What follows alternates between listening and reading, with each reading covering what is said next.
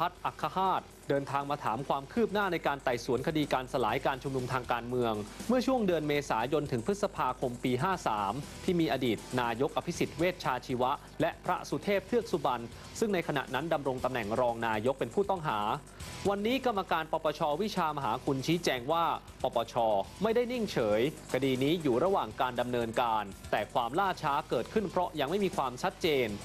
ทั้งเรื่องของการใช้อำนาจของผู้สั่งการ และยังต้องรอคำวินิจฉัยของศาลในประเด็นพิจารณาผลการชนสูตรพลิกศพ เมื่อมีความคืบหน้าจะมีการนัดประชุมคณะกรรมการปปช โดยเร็วครับ